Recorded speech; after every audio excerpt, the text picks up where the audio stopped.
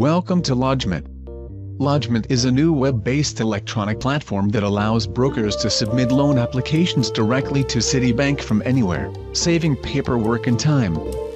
Once you have logged in, the application manager will appear. This is where you can see a summary of all of the applications you have previously worked upon, with the last modified one appearing first. These can be reopened and worked upon, or they can be cloned to any lender. When you create a completely new application a window with all of the various lenders we support will appear, and you simply select Citibank.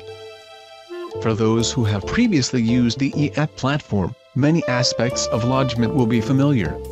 To the left you can see that the loan application form is divided into seven sections. Person applicants, company applicants, financial position, real estates, products, additional and submission. On the first page of sections, a brief overview of all the entries in that section is provided. There are safeguards built into the forms to assist you, such as bold headings for fields which need to be completed, and the validate function, which highlights in red any fields without a valid entry. You can save the application at any point in time, and by using clone you can replicate the application for any lender. You are able to work on multiple applications at the same time. Lodgement's ability to use previously entered information whether it is an address or an entire application cuts down on repetition and saves time. Once the validation has been passed, the application is submitted directly to Citibank.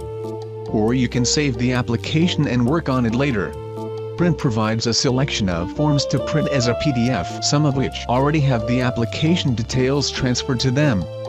Citibank has an electronic lodgement supporting documentation pack, which must be faxed to them, before they can begin processing your loan application further towards full approval. Thank you for watching, and we hope that you will enjoy using Lodgement.